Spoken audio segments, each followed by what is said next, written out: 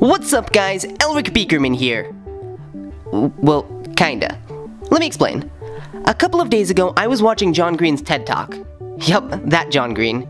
He was talking about the concept of education and how it shouldn't be this meaningless chronological system where you're forced to learn by yourself to get yourself a job so that you can finally be happy, but rather a communal activity where people interact and use social media and different platforms to learn and have fun together. With that in mind, I decided to create my own little educational series using arts and crafts to talk about historical people and events. I'm uh, mostly doing this because my hair was a mess and I didn't want to appear on camera. Anyways, today's topic of conversation is going to be Galileo. You know, the guy from that Queen song. Galileo Figaro Magnifico! Galileo Galilei is a famous observational astronomer who was born on February 15th, 1564, and died on January 8th, 1642. Now, I know what you're thinking. Dates aren't an important thing to learn about. You'll never need to know Galileo's birth date in the real world. Well, most likely accurate, unless you're on like a really specific episode of Jeopardy. Dates are important because they add a sense of scale to everything. For example, did you know that Galileo died almost a year to the day before Sir Isaac Newton was born, January 4th, 1643? It's crazy to think that the father of astronomy and the father of mathematics were that close together in time.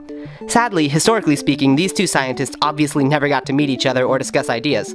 But, scientifically speaking, I hypothesize they're both eternal mole men creatures living underground and currently plotting their overthrow of modern day human society. Like I said, it's just my hypothesis.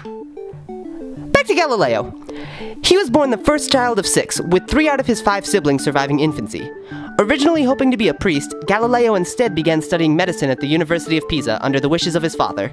I say began because Galileo quickly switched his focus to mathematics after noting that a chandelier, regardless of the size of its arcs, always took the same time to return to its first position, leading to experimentation with pendulums. Through his intellectual lifestyle, Galileo came into contact with the Aristotelian views of life, including the concept that space is a perfect heavenly plane, and the geocentric model of how our cosmos was shaped, with the idea that our planet is the orbital center of everything.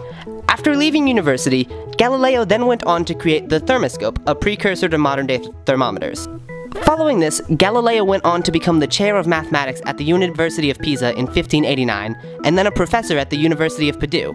Here is where he first heard of an item in the Netherlands with the capability to zoom in on distant objects, inspiring him to perfect the concept of telescopes. While not the creator like many people think, Galileo is the creator of the first good telescope, allowing him to magnify up to 20 times. Using this, Galileo was able to observe craters in the moon, and moons orbiting Jupiter, disproving both of Aristotle's theories about perfect heavenly space and geocentricity. The Catholic Church, uh, hated this. Like a lot. Becoming a rather controversial figure, Galileo went on to become banned from the church, which prohibited the teaching or discussion of his theories. Galileo, always the cheeky little astronomer, went on to write Dialogue Concerning the Two Chief World Systems, Ptolemaic and Copernican. This book featured three people, one fighting in favor of heliocentricity, the idea that our solar system revolves around the sun, one fighting against it, and one neutral third party. Although it was claimed to be an impartial work of literature, the Catholic Church, uh, hated it. Like a lot. Summoned to Rome, Galileo admitted to his anti-Aristotelian views on science and was sentenced to house arrest. During this time, in 1638, so close to 1738, Galileo wrote his final book, Two New Sciences, outlining the discoveries about motion and the strength of material. Four years later, Galileo Galilei passes away after enduring a fever and heart palpitations.